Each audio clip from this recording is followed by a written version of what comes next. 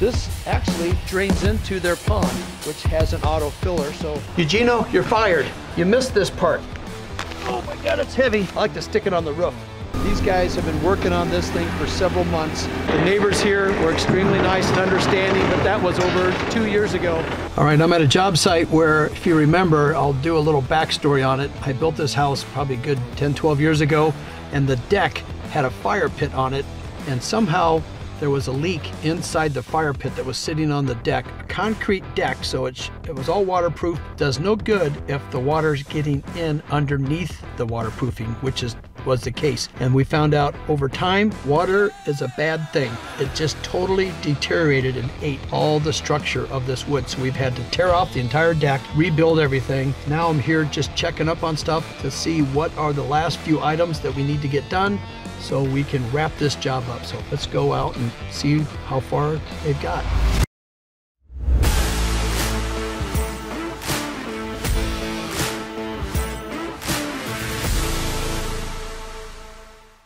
I bet they would love to get this dumpster out of their driveway. This thing's been sitting here for a while, but it's working out pretty good since Christmas is around the corner. I see they're filling it full of all their own trash, so that's good. Makes no sense sending back a dumpster empty since we're, oh, look at this. You guys interested in some Samsonite luggage? Oh, I need to uh, give Eugenio a call. There's some good looking stuff in there. It even comes with some blow up armbands for swimming. That'll help Eugenio. He's not a good swimmer. Let me see. I love dumpster diving. Now we're just into boxes and trash. So only one good find today. Hola, Hi, how are you? Migo? Okay. You're getting, oh, you're prepping the, the stone? Yes. Oh, good. I just talked to your, your boss. Mhm. He was making sure you're getting it all done. Are you putting on Durock? Yeah, you, So do- you go okay, we'll take a look. So all this here you get to carry down? Mhm. Ah, Yes. yeah, yeah, that's not good. Yeah. oh, we checked the gate too for a Okay. while. This gate, Oh, I like it. we Oh, got this fixed. Okay. It, well, it, it shuts now. Well, Eugenio did, but still, still I don't know. needs some more work. Yeah. Before it was tipping really bad, so they added a few more bolts. So maybe we just adjust this hardware. Eugenio got 98% done. That extra 2% is what makes a big difference. Looks like this thing's out of whack. We can adjust that. So come on in, take a look. That is all brand new deck, the entire thing. Every step is the same one except for, can you guess which step is new? Maybe this one? So I was able to go down, find the step. This has been sitting outside in the shade with water, so it's, it needs to be power washed. I had Eugenio come power wash the house to clean it up. Let me take a look at that. Come up here. The handrails were missing. These are getting installed tomorrow. I had Eugenio power wash all this. I'm gonna get him back here because if I can wipe it off with my hand, look at that. Eugenio, you're fired. You missed this part. I think you only cleaned downstairs. So here's what we replaced. All this deck, the new Trex decking, solid surface, it was concrete, tore that all out, and we put the bladder system in. So when it rains, it collects the water down below. So the ceiling downstairs looks just like this ceiling right here, you guys. So we have can lights in downstairs. There's actually a gas lines. There's, I believe there's even speakers. So we replaced and rebuilt. This is a kind of a freestanding fireplace that we set in place and then we stoned around it, complement the house.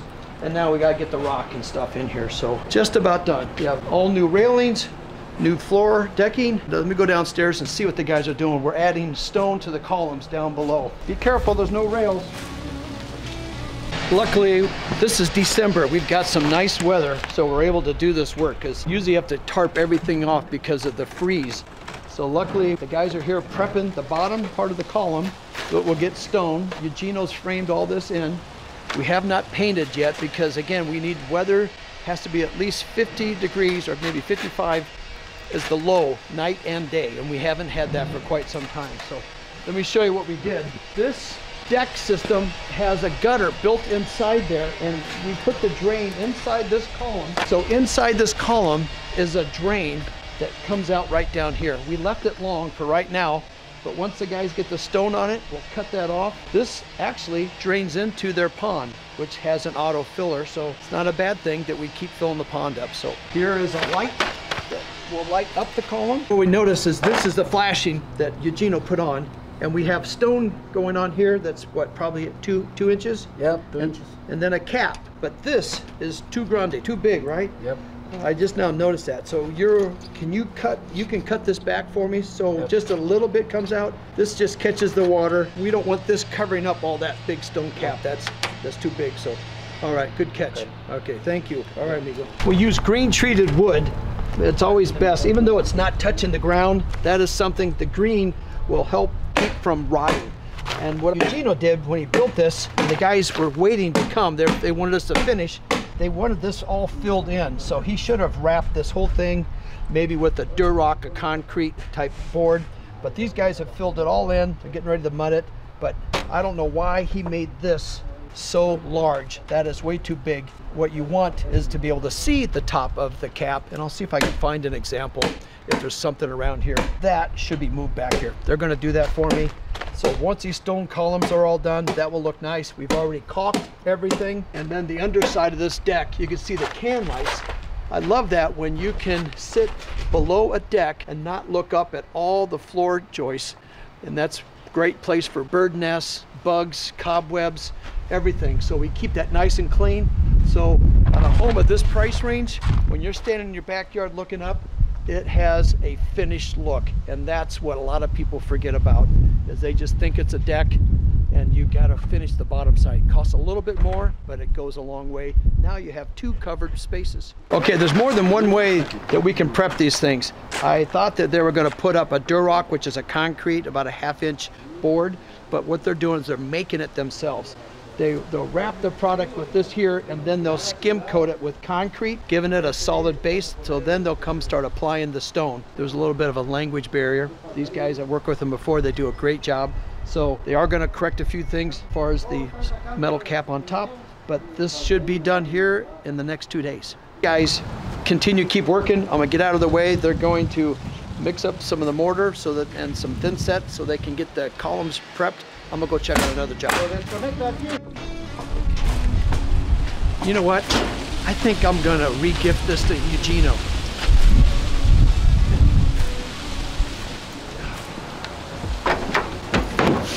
Looks like new.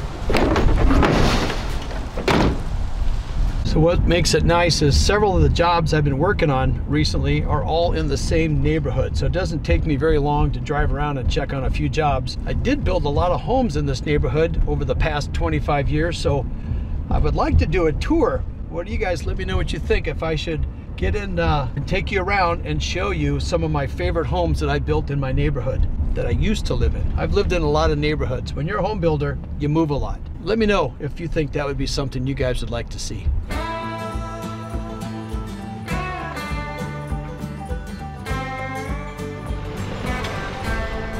All right, it's another busy day. We're just finishing up the landscaping here on the uh, the job that's been taking over two, almost two and a half years to finish. So the landscapers, with the nice day we have here in December, are getting a lot of the dirt that they've removed. I'll take you down and show you. We have to hook up the sewer line. It's going all the way underground, which all the neighbors, there's probably four or five homes that drain all the way through the side yard of this house and it goes into the sewer. So it's a pretty major deal. We had to get special permits and things for it. I'll uh, show you that. I'm going to check on the backyard, see how the pool house is coming along. Everything's done on the inside except for a few little punch list items. So one thing was is I'm supposed to get the dumpster exchange out. I made that call. That's already done. So let's go take a look inside. All right, this backyard's been a major project. Remember, we tore the pool out, put a whole new one in and then we gutted all their pool house area. This was a different setup. They tore everything out and put in all new tops, all new appliances. So we got a granite top here. This is the gas shut off. I'm sure that'll be, be hidden. But now you can actually put chairs up to this height. What we did is we came in and redid the wood ceiling. In fact, there was no wood on it. Put wood on both ceilings outside. It has, still has to be stained. But check out all these outdoor appliances that they put in. These here are, are drawers. I thought they're refrigerated drawers, but they're not. They're just nice drawers. Man, all that is a beautiful griddle ready to go. Obviously, you need the barbecue grill. This is a super-sized one. I think it's a 42, maybe 48 inch cooktop. Here's my favorite. You guys may have seen these before. These are ice chests built in. So you literally just fill this thing full of water or ice and it drains. And then here's your nice little place for condiments. If you're making drinks, put your olives on your different things. So this literally drains out There's two of those, another one over here. So I think this is way better than having a refrigerator out here. I don't even think they have a refrigerator. I'm looking. This was done by the landscaper. DMS did all this. But then they have a sink. What's cool is everything, this can be lifted out. You got your chopping block. Everything has a place for it to go. When you're done here, it stores, doesn't blow away, but everything has a lid. I think that's very important. So everything's been winterized. And here is the storage room, but you have a huge spot. But let me take you and show you the bathroom that we did. Okay, the pool bath is not quite done. All the trimming, let me take you in here and show you. They left the shower tiles alone. Remember, they're, I don't know, now we're trying to save some money after all the multi-million dollar refinish. But here's a vanity that was set in place. We got new light fixtures, still waiting for the plumbing to come in. But all the trim has been redone. We've fixed this pocket door. This was really flimsy. That's all been redone. And now they'll have a nice pool room come summer. But we just gotta paint now. That's the last of it. And maybe a shower door. Let me know what you think. I just came in the backyard. I'm, I'm as surprised maybe as you guys are. This is AstroTurf. I did not realize the homeowner is putting down AstroTurf in his backyard. I think it's a great idea. I've done it a couple of times before, but we turned it into a putting green. This is just grass. They don't have any animals or pets. There's no need to be vacuuming or cleaning this thing off when they do their business, but there's still more to go. You have to let me know. I don't know what this stuff is. Oh my God, it's heavy. If this is just holding down the glue or if they have to sprinkle this stuff over the top. I do see another punch list item. This massive AC unit is not in its final resting spot. This is getting moved so it's out of the way of the window. Soon I will come back, not soon, it's gonna have to be this summer. We ran out of nice weather to finish the pool. We were able to get the water in it, just a few more things. We're still working on the pool house, the bathroom. So I'm gonna give you a final view of what this whole backyard looks like come spring. We have a detailed time lapse of start to finish. This has been two and a half years in the making. So I am excited to be able to showcase a finished product, but I'm got that close to the finish line and Mother Nature had other ideas for me. So we'll keep you posted on that. So I have the original screen door that has a little couple holes in it. So I'm gonna take this to the repair shop, get it fixed as another one of my punch list items.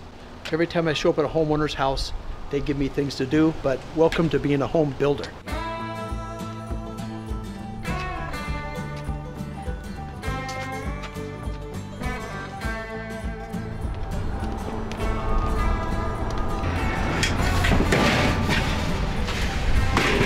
Oh, it just fits. That extra bed that's six inches longer saves me a lot of headache. Let's go down and check on what these guys are doing for finishing up all the drainage from the backyard. All that sewer and water pipe is coming from the top, the whole backyard, all the way down, and they have to take it down the street to connect it into the sewer drain. So these guys have been working on this thing for several months, and then you're also waiting for special permits, dealing with the city, making sure they're doing it right. When you hook stuff into their sewer, they really want to know what's going on. So they are now slowly backfilling the water and things down to make sure we get the right um, compaction because the sidewalk is going on top of this and last thing you need is the sidewalk moving you have to come out tear it out and replace it again. Let me take you up here and show you this beautiful sidewalk they put in to get to the music room this here that you put down it's a flagstone. A flagstone. So I've seen it, it comes in different colors I take it. I think I have more of a brown color. Is that a limestone? Uh, I couldn't tell you. Don't I didn't I wasn't a part of that. Do you guys so this will you set this just it's just the way it's set. Do you have to do any more preparation to it for smoothed out? Uh, that once again that's a Go- question for someone else. Is that right? Yeah. it's out of your it's out of your Well, I didn't do any of the work. oh you're in charge of getting the water out of the backyard. Uh, yeah I'm, I'm putting the pipe in so. yeah that's more important so that this thing stays where it's supposed to. Nobody can fully appreciate our tight spaces that we had working in here right to get in and out of the backyard. Yeah, it was really tight. Tight in the AC unit. So I'm gonna take you guys up and show you how tight the working quarters were to get this done. So come up here. This AC unit, I gotta find out If what, could, what the that'd rule is. It'd be nice, like you said, if we could get that thing to go back. Back a little bit Doesn't, get it? doesn't look so good, does it? So I'm gonna see what what's what's entailed. I'm gonna take some pictures. Make sure they come out here tomorrow. Not only is setting the AC in the back, but this one. It's worth mentioning to them, see if they can do it or not. Gotta, we have these gas line. I know we gotta stay so far away from that. So let me see what options there are to get that thing. If they can turn it, it's pretty square. So there's one more on the punch list. So we have a ramp that takes, remember everything's kind of wheelchair accessible in this whole house. This takes you down to the music room. And again, we have drains everywhere because now we've created a pit for all the water to, to accumulate. And we want to make sure it doesn't go in the house, that it goes down the street. Now, we have totally locked ourselves in. There is no way to get to that backyard with equipment. This wall was the last thing that had to be built. It looks nice, except for turn around. This doesn't look so good. So I'm gonna make a phone call and figure out what we can do to get this thing shoved that way. These are monster. It's going the right direction. If I turned it more, it's gonna stick out even farther. It's actually wider than it is this dimension. So, okay, it's always something. We have actually added multiple AC units to this house.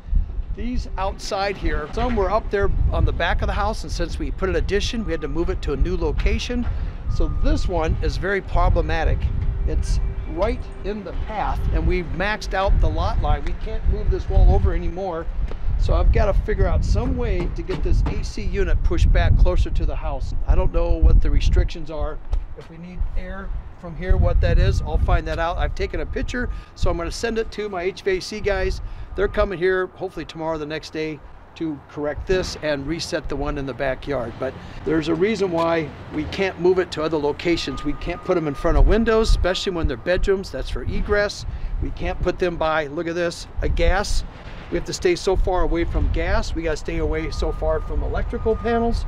So hopefully we can come up with a good solution. I like to stick it on the roof. We started this job. The neighbors here were extremely nice and understanding, but that was over two years ago. I'm not sure they were realizing that we were going to be tearing up their sidewalk, but it looks like the uh, the landscapers went ahead and helped them bury their downspouts into this. But this their entire sidewalk is tore up because they're benefiting as well as the other neighbors getting all the water from their backyards down my client's side yard. Turn in and reason why it goes through their front yard we had to find this part of the sewer the manhole covers right here.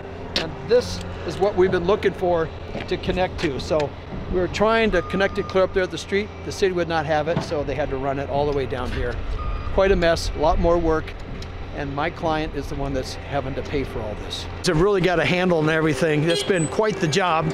So they're still backfilling and they should have this whole thing sidewalk poured back in place in about five days. So we are getting it done just before when I say we, they, there we go. That's the right way to say it. They will get it all done.